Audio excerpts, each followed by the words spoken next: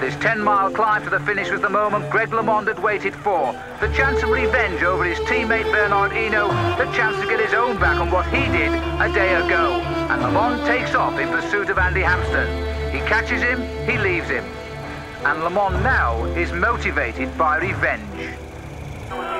No American has ever won a stage in the mountains before in the Tour de France. And when the seconds go on the screen as he crosses the line, we'll see whether he's done enough to take the overall lead away again. LeMond now knows he can afford a smile. 100 metres to go.